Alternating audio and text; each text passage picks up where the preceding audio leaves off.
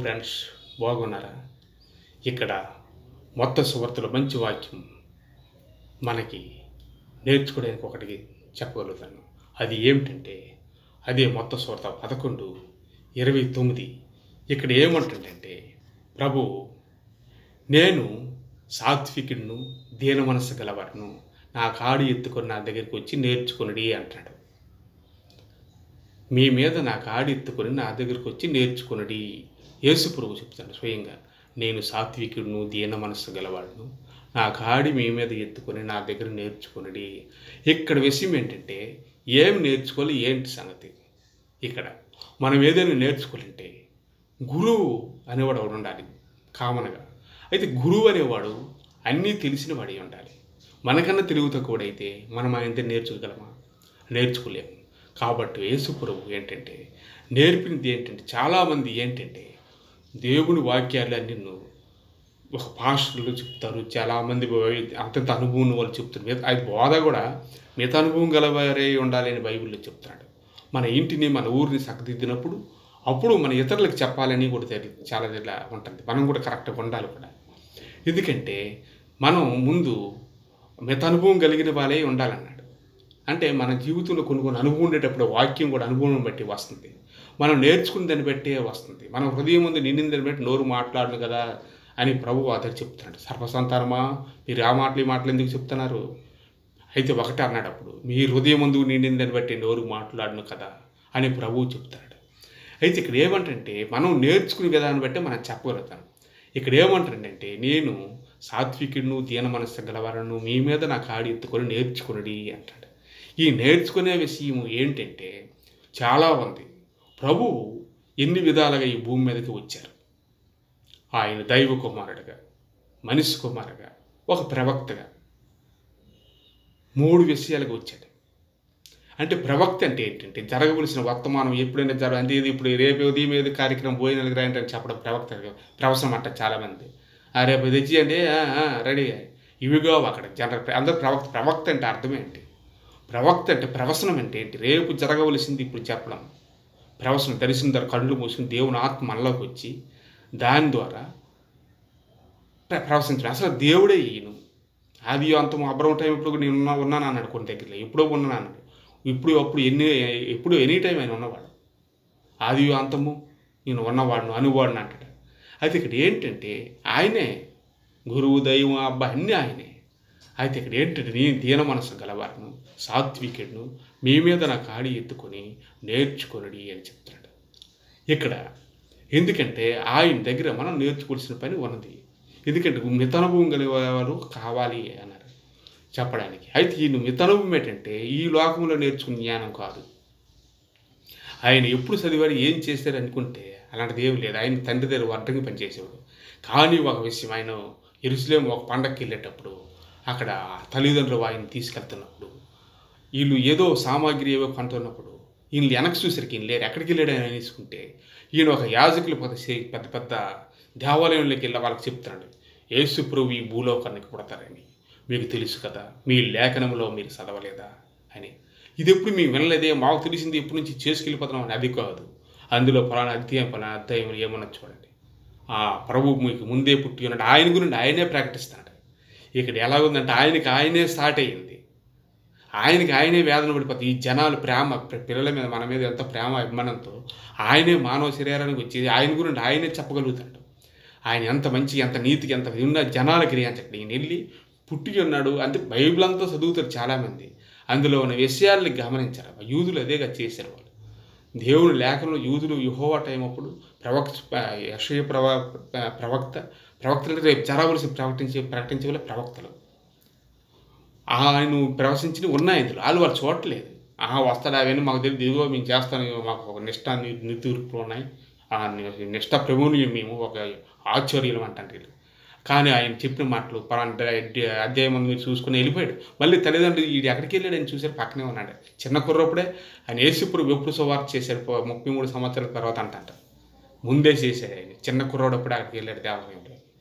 ఎవరికి చెప్పాడు? ఈ చిన్న కుర్రాడే పెద్ద తాతల లాంటి వాళ్ళకి దేవాలయంలోకి వెళ్ళి ప్రకటించాడు ఆయన. ఇది చిన్న విషయం కాదు. మరి అంత జ్ఞానం ఎలాగొచ్చింది? ఆయన ఏ స్కూల్లో చదివాడు? ఏంటి సంగతి? నథింగ్ ఆయన పరలోక స్కూల్లో అక్కడే మొత్తం సర్వజ్ఞానం ఆయనలో ఉంది. క్రీస్తు సర్వసంపదలు సర్వజ్ఞానం క్రీస్తులు గుప్తమై ఉన్నాయి కొలసలు పత్రికలు ఉంటాయి. అన్నీ ఆయనలో ఉన్నాయి. అగ్ని సముద్రాలు ఈ భూమి ఆకాశం అన్నీ ఆయన గిఫ్ట్లో ఉన్నాయి. ఇలాగంటే ఎత్తు బూడిదవుతాయి. అంటే ఆయన చేతులు మొత్తం ఉన్నాయి. ఆయన తెలియని చరిత్ర అనేది లేదు. అందువల్ల ప్రభు ఇప్పుడు వేరే మానవుడు కూడా ఆ స్కూల్ ఈ స్కూల్ చదివాడని అనుకో ఈయన అలా కాదు, దైవ జ్ఞానం అన్ని భాషలు వచ్చి అన్నీ వచ్చాయి ఆయనకి. అయితే ఇక్కడ అందుకే అన్ని ప్రార్థన చేసే వాళ్ళు కొంత పరిశుద్ధాత్మ పొంది- పొందిన వాళ్ళు అన్ని భాషలతో మాట్లాడుతుంటే ఏంటిది? అన్ని భాషలు కూడా దేవుని ఆత్మ మనం దేవునికి మనకి సంభాషణ ప్రార్థన అనగా. అంటే సాతాన్ క్యాచ్ చేద్ది దీనికి రావాల్సినవి ఏమైనా ఆశీర్వాదాలు అది దానికి అర్థం కాకుండా దేవునికి మనకి ఈ భాషలు. మనిషికి కాదు అది మనకు కూడా అర్థం కాదు అది. ఆత్మని దేవునికి చెప్పుకుంటుంది ఈ మధ్యకి సాతను క్యాచ్ చేస్తే ఏదైనా శ్రమలు మనకు ఉంటాయి. అందువల్ల ఆ భాషను పెట్టాడు అది దేవునికి మనకే వర్తమానం. అయితే ఇక్కడ ప్రవక్త అనేది ఏంటంటే రేపు ఇప్పుడెప్పుడో జరగవలసింది యోహాను కూడా చెప్పాడు కదా అక్కడ పద్మదివుల్లో ఎప్పుడేం జరుగుతుంది ఈ ప్రకటన గ్రంథం అంతా? అలా ఎప్పుడెప్పుడో జరగవలసింది వేల సంవత్సరాలు చెప్పింది ప్రవక్త అంతేగాని రేపు పొద్దు మరిటిపల్లి తీసుకురా ఇక్కడ పల్లెలు పట్టుకురా అనేదని అప్పటికప్పుడు డిస్ట్రా చెప్పింది ప్రవక్త ప్రవచనం కాదు అది. తక్షణం ఉన్న ఒక వర్త పరిస్థితి వర్తమానాన్ని ఏమి చెప్పు తక్షణం రేపే జరగవలసింది. రేపే జరి- ఏం జరుగుతుంది ఈడికే తెలియదు కదా చెప్పినోడికి. అందువల్ల నీటి పొడగలాంటి మనిషి ఏదో చెప్తాండి ఇది. ప్రవసనం అని అది తెలియక తెలియకూడదు సరిగ్గా పని చేయక అంటే సాతాన్ జ్ఞానం అటు ఉంది కదా ఇక్కడ. దైవ జ్ఞాన ప్రకారంగా ఏంటంటే కొన్ని వందల సంవత్సరాలు వేల సంవత్సరాలు ఏం జరుగుతుందో చెప్పేవాడు ప్రవక్త. యేసు ప్రభువుని కూడా సమరస్త్రీ కూడా ఈయన ప్రవక్త అని గ్రహించింది. ఎందుకంటే నీకు ఐదుగురు భర్తలు ఇప్పుడు ఉన్నవాడు కాదని చెప్పి అతని చరిత్ర అంత రబ్బీ ఇదిగో ప్రభు వచ్చాడని అందరికీ ఆయన సువార్త చెప్పింది ఈయన గ్రహించింది.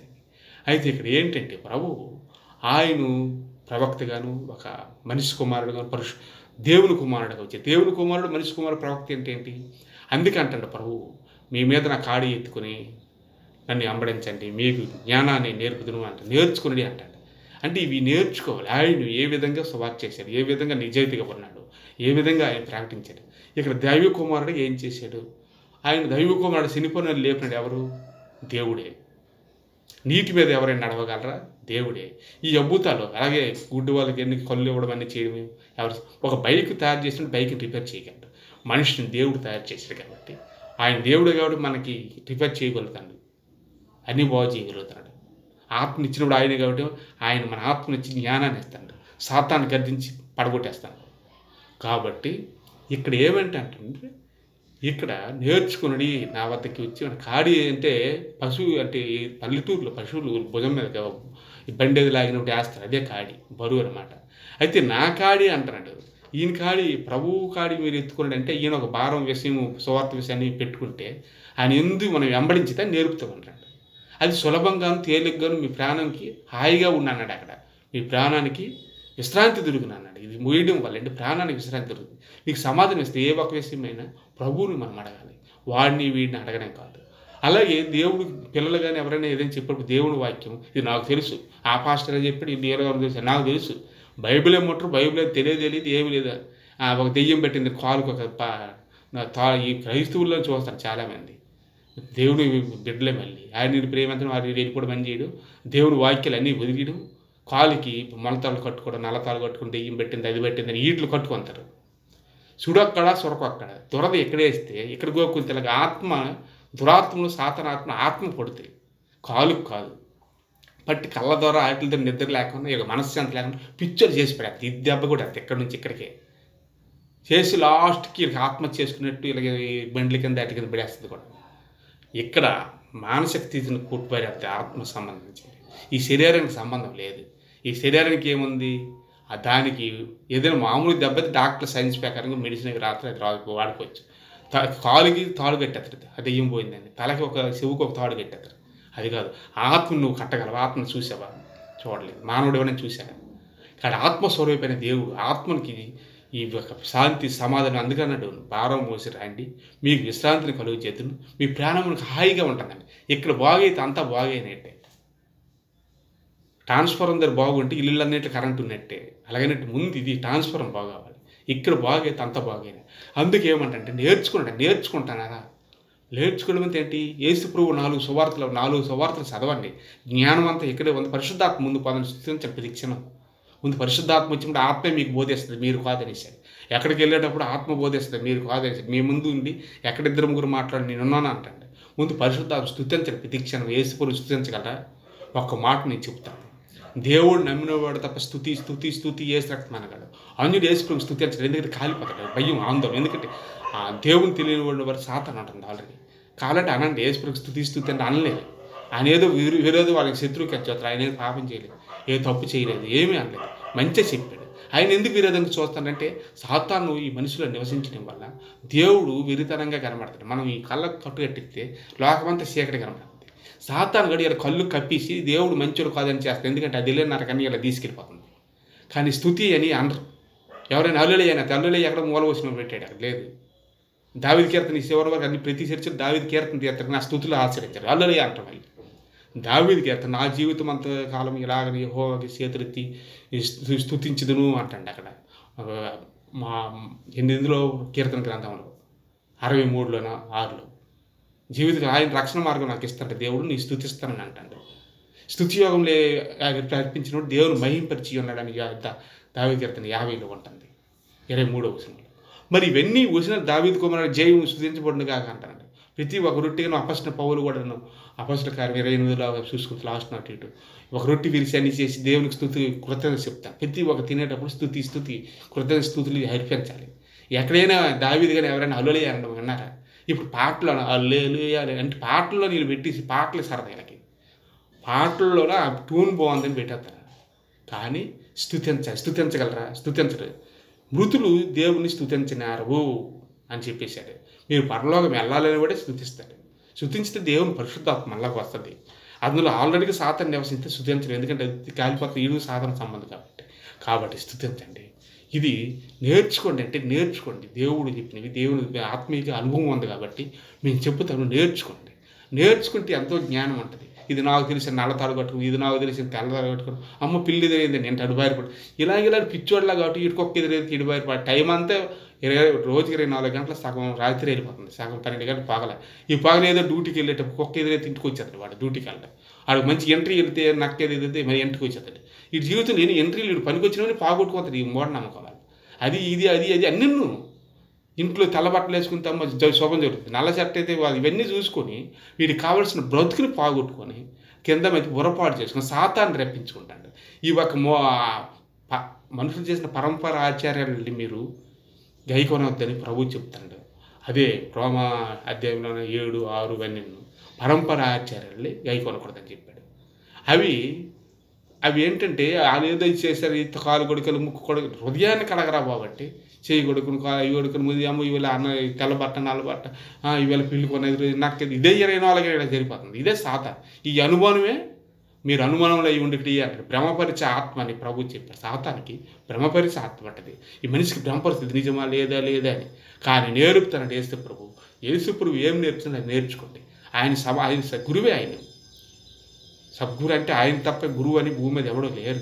ఆయన భూలోకం నుంచి అందరు చూస్తున్న నలభై రోజులు భూమి మీద ఉండే ఆకాశానికి ఆయన నేర్పితే ఆయనలాగా మీరు వెళ్తారు? ఆయనతో నేర్చుకుంటే. మన గురువు గొప్పవాడైతే మనం వెళ్తాం. గురువు గెలిచిన వాడైతే పందెంలో దేంట్లో ఒక బాక్సింగ్ దేంట్లో ఆయన దగ్గర నేర్చుకుంటే నువ్వు గెలుస్తావు. వాడు రోడ్డు మీద తిరిగి వాడు దగ్గర నువ్వు నేర్చుకుంటే నువ్వు ఎక్కడ గెలవగలవు? వా- బాక్సింగ్ అవ్వచ్చు లేకపోతే ఏదైనా అవ్వచ్చు. మనం నేర్చుకుని ముందుకు సాగి మన గురువు గారు జంప్ చేసి సరిగ్గాను ఆ వెనకట్ల మనం కూడా జంపింగ్ చేసి జంప్ చేయగలం. వాడే కాలవలు పడిపోతుంది మనం ఎక్కడ వెళ్తాం గురువు మన పనికిరాని గురువుని ఎంచుకొని వాడో బురదలో పెడితే ఆడెనకలు పరిగెత్తి మనం బురదలో పడతాం కదా. అందుకు నా కాడి మీ మీద నా కాడి ఎత్తుకొని నా నా దగ్గరికి వచ్చి నేర్చుకునడి అంటాడు. ఇది నేర్చుకోండి. అందుకు పక్కింటి వాడు చెప్పాడు ఎదురింటి చెప్పాడు ఆ ప్రేమించాను ఆరు సూపర్ చెప్తాను చెప్పిన మాటలు నాకు బాగా అర్థమవుతానే.